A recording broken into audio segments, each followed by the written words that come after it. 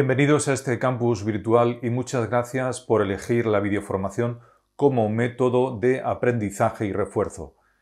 En este tutorial dedicado a las pruebas de acceso a la Universidad para la Comunidad de Madrid, vamos a abordar la cuestión número 2. Redacte un resumen del contenido del texto.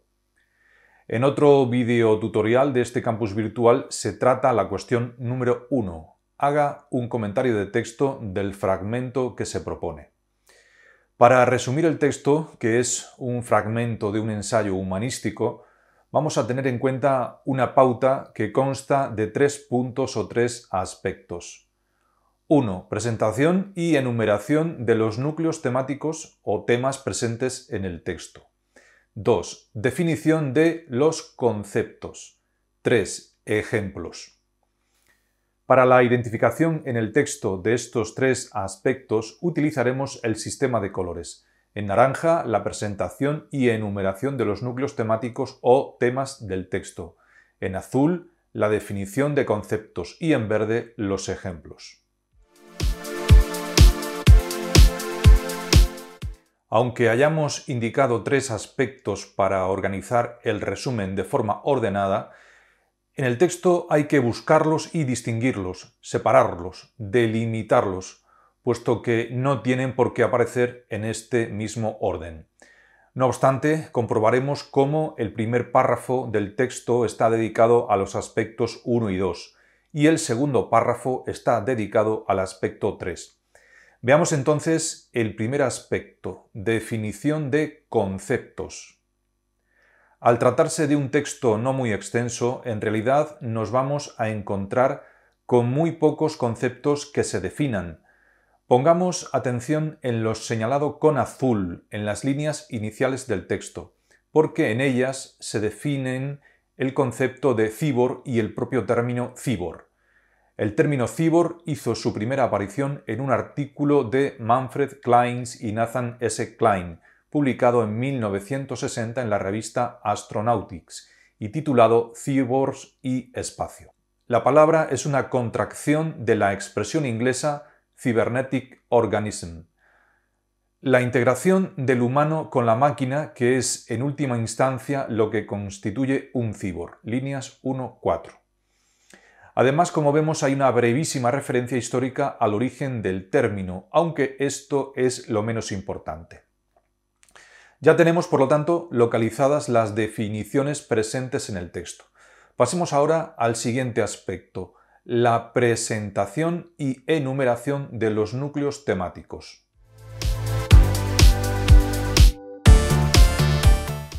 El segundo aspecto es la presentación y enumeración de los núcleos temáticos.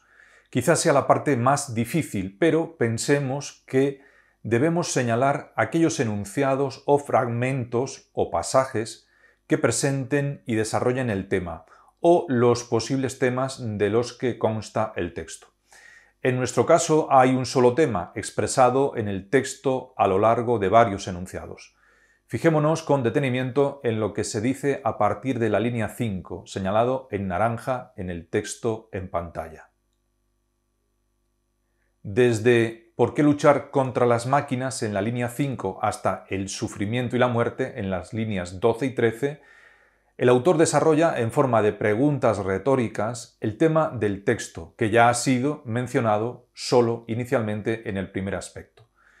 El tema desarrollado es la integración de las máquinas, cualquiera que sea su complejidad, en la vida y sobre todo en el cuerpo del ser humano es una defensa de esa unión entre máquina y ser humano, porque en definitiva las máquinas bien empleadas, utilizadas constructiva y positivamente, facilitan la vida de los seres humanos. Es una defensa de la integración del ser humano con la máquina, en el sentido de que la máquina proporciona calidad de vida al ser humano. Ya tenemos, por lo tanto, localizados las ideas o núcleos temáticos del texto. Pasemos ahora al siguiente aspecto, los ejemplos.